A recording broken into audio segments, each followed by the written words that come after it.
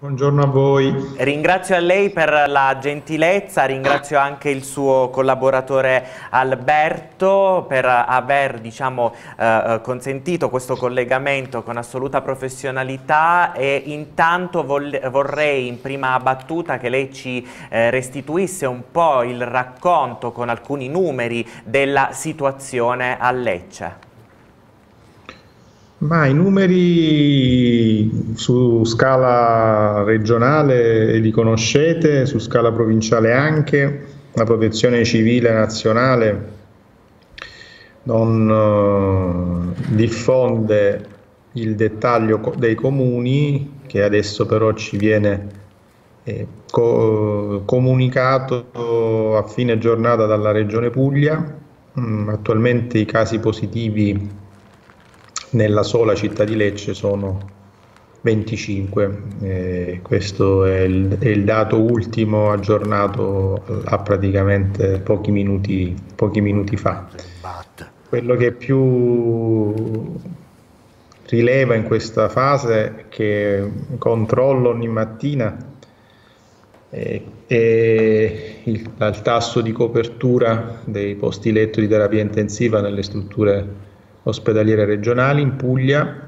Siamo intorno al 10-11% e questo è un, è un dato molto significativo perché le ragioni di questo ulteriore disposizione del governo di sospensione delle attività produttive non essenziali scaturisce dalla ormai insostenibilità dei, di, delle strutture ospedaliere di gran parte delle regioni del nord che hanno esaurito i posti letto di terapia intensiva.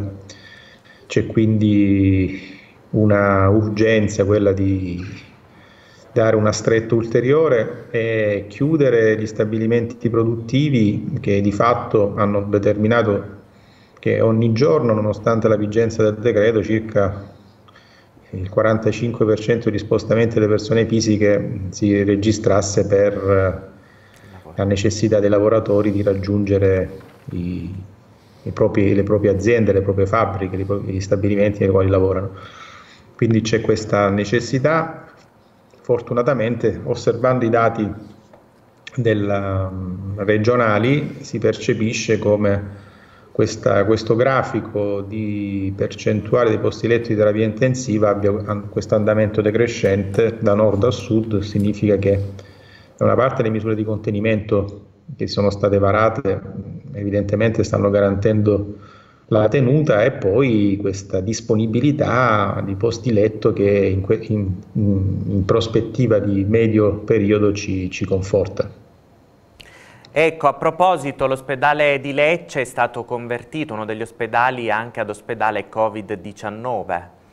Sì, proprio ieri si sono aperti i padiglioni, sono stato eh, ieri nella tarda mattinata insieme al direttore dell'ASL Rollo a salutare i medici, gli infermieri, a prendere diretta visione dei, dei padiglioni, delle sale, del pronto soccorso. Questa è una struttura che è stata mh, riconvertita nella sua logistica ai fini di una specializzazione per la, i pazienti cosiddetti Covid. Quindi adesso da lunedì ci saranno questi 40 posti di terapia intensiva e un importante eh, servizio in questa fase naturalmente di emergenza che rassicura i salentini ma anche i pugliesi perché diventerà un riferimento per l'intera regione.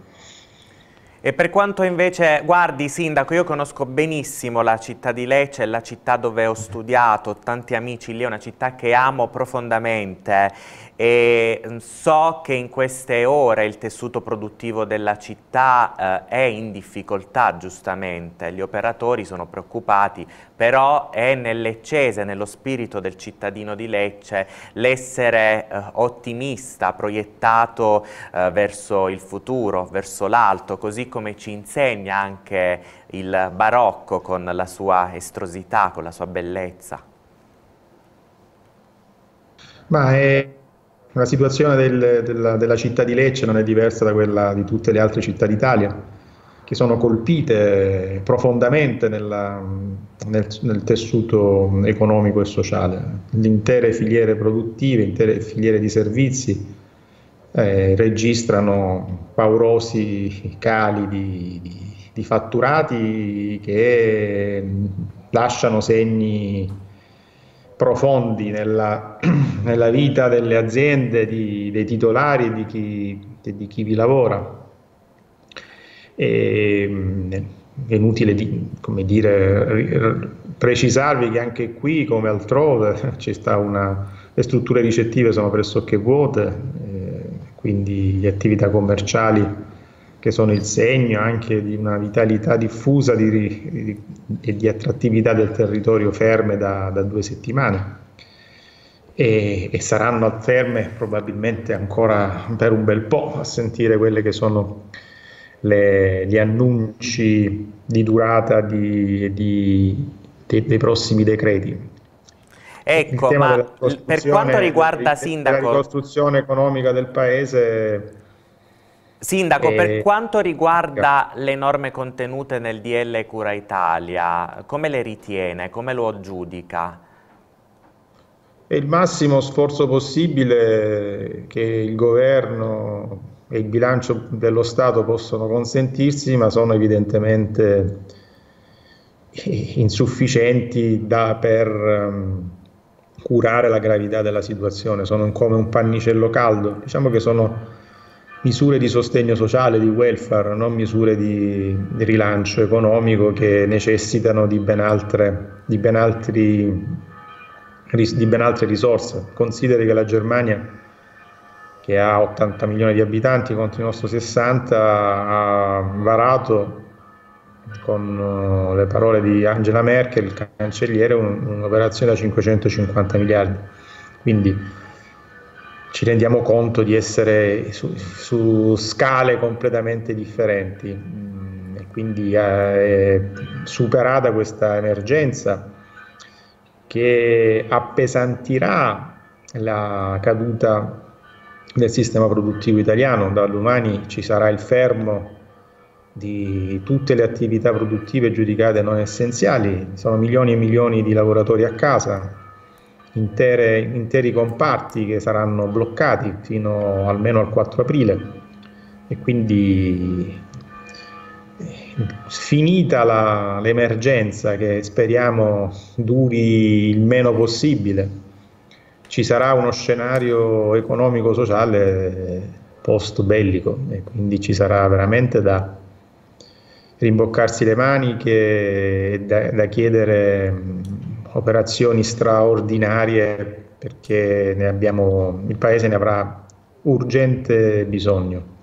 Intanto, Sindaco, avete ottenuto proprio nelle scorse ore un importante risultato con il collega di Polignano, Vitto, ma anche con il eh, Sindaco De Caro, lo stop alle attività eh, legate, collegate al gioco d'azzardo.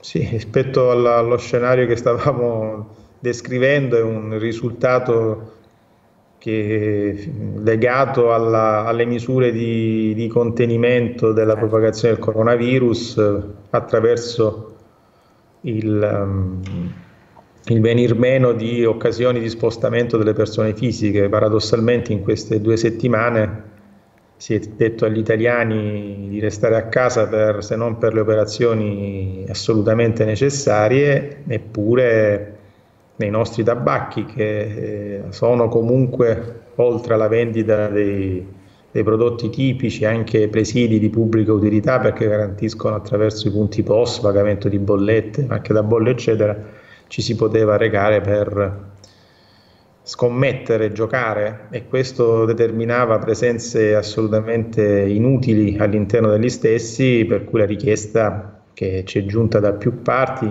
soprattutto dai titolari delle tabaccherie, era quella di chiedere la sospensione delle attività di lotto nella lotto e attraverso un'iniziativa che abbiamo portato avanti con Antonio De Caro con Lanci siamo riusciti a ottenere questo, questo provvedimento che eviterà che molte persone escano da casa per andare a tentare la fortuna. In questo momento tentare la fortuna è quella di salvaguardare la salute dei cittadini, di se stessi e degli altri. Sindaco, come fatto anche con il collega De Caro, vorrei chiudere con lei con un messaggio dedicato alla giornata mondiale dell'acqua. La giornata mondiale dell'acqua in questo, in questo momento è, si, si, associa a tante, a tante, riflessioni. Noi siamo chiamati a, una, a misure di igiene personali che stiamo valorizzando eh, nel pieno significato, questo avviene attraverso l'uso dei nostri rubinetti dal quale scorga acqua pubblica con la quale ci laviamo le mani, la Puglia eh, regione che ospita il più grande acquedotto d'Europa. Quindi partire anche dalla considerazione dell'acqua come bene pubblico ci fa capire come fa- nelle fasi di crisi, nelle emergenze, la tutela dei beni pubblici, dei servizi pubblici rappresenta la migliore difesa dei, delle, proprie, delle, proprie, comunità. E quindi la giornata dell'acqua può, può servire anche a, a, rafforzare la consapevolezza del, della, del ruolo dei cosiddetti beni comuni nella, nel benessere che dobbiamo dover e poter garantire a tutti. Sindaco, mi saluti tanto Lecce e leccesi. Grazie. Grazie a, a voi per l'ospitalità e buone cose per tutto. Grazie, grazie mille a lei per la disponibilità. Grazie al sindaco di Lecce, Carlo Salvemini. Noi ci fermiamo per una breve pausa pubblicitaria, tra poco.